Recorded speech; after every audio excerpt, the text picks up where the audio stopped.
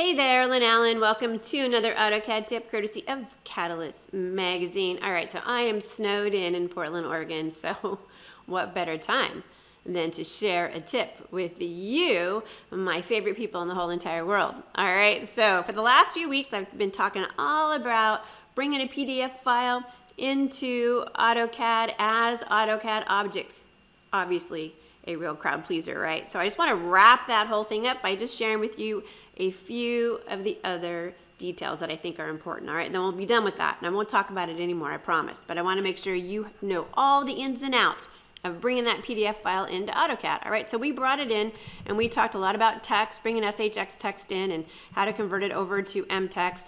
But I want to just talk about a few other things. All right, so as I wander through this drawing file, I just want to show you this is a dimension, and I'd like to point out that even though it does a much better job in 2018 of bringing those uh, dimensions that are not horizontal in as making them look good, let me just point out that you can see these are not associative dimensions, right? This, this is this is MText, this is a polyline. Um, so these are not smart dimensions, so you should know that. If you start modifying things, those dimensions are not going to update automatically.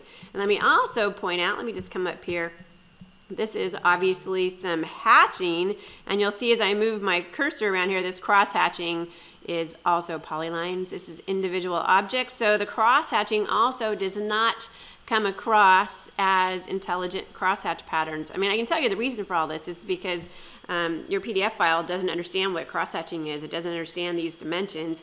And so when you round trip it like this, it loses the intelligence, unfortunately. What else? Hmm, this, we know this would, of course, be a block, right?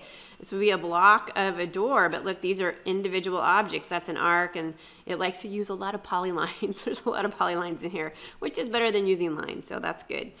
All right, but I did tell you that it does a good job of images. It does bring images in. This is, in fact, a, hold still, an image, a raster image. You should know that it converts raster images to PNG files. So it does bring raster images across.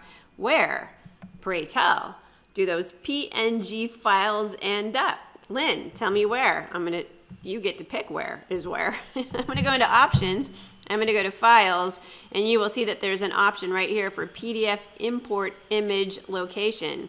So this is where you're going to tell it exactly where you want those PNG files to land. All right, so you're to set that up and you know it's, it's static. So you can't have it follow you know different projects unfortunately. You need to come in here and set it for each of those those different PDF files that you bring in. All right, so there you have it. That's kind of what I wanted to follow up with you. Make sure that you're fully aware what's happening inside of those PDF files that you're bringing in. And that wraps it up. No more drop mic on the PDF files. Next time I see you, I'm going to move on to a totally different subject, all right? But now you are the PDF import expert. Oh, yeah, impress your friends. Great dinner conversation. anyway, see you back here in two more weeks. Peace out.